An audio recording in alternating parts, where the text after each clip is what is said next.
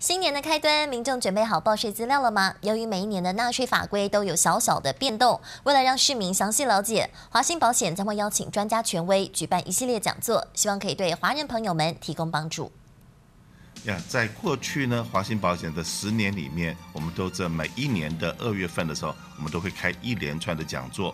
那尤其是在税法跟劳工法的部分，每一年都有一些新的变化。所以今天呢，特别请到我们的主讲人之一杨平杨会计师到我们节目里面来，跟大家讲讲说，到底二零一五年在报税的时候，尤其报二零一四年税，中间有 involve 到所谓的个人健康保险或者是团体健康保险，你今天你可能是拿的是公用的是公司团体健康保险，到底报税的时候该要注意些什么地方？那如果你是自己买的健康保险，在报税的时候又怎么样能够国税局以及这些执行的单位知道你有健康保险？那很多的疑问，今天我们特别请会计师到节目里面来跟大家介绍一下。啊，是的，那个二零一四年开始啊，这税法有很多的改变，同时变得很琐碎啊。最明显的例子就是 Obama Care。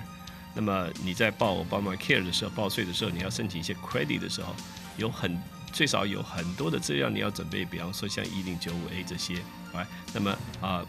工作就变得非常的繁重。那么在呃二十六号的 seminar 的时候，我们会谈到这些呃呃事情需要注意的地方。啊，同时在那 seminar 的时候，我想呃跟各位介绍一点，就是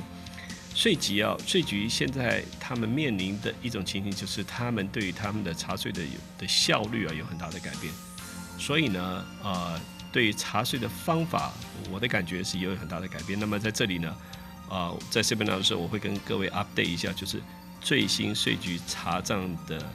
方向，好吧，一个趋势的问题。呃，是的，刚才杨会计师有讲过，和这国税局有很多的规定，然后这个来查税，但实际上面呢，在我们这个做全民健保的时候，知道很多时候它不只是查税的问题，因为你如果说没有给员工，像比方说像二零一五年你没有给员工买健康保险的话，一百个人以上的雇主是有罚款的。那甚至于有的雇主很聪明，在二零一四年、二零一五年，干脆叫员工自己去买保险，然后呢再 reimburse 员工一些钱。那如果说你是做这样子的动作的话，你很可能呢不是被查税，而是你被抓到你可能罚款，罚款的金额肯定比买保险的金额更高。所以在这个地方，OK，这个可能你觉得说你找到了一个方法，OK，实际上面道高一尺，魔高一丈，怎么样能够让你变成一个聪明精明的这个老板，呃，请来参加我们二十六号开始的一连串的讲座。那当然，我们这个明天会特特别再请到我们的律师来讲有关律师方面。法律方面肯定要注意的事项。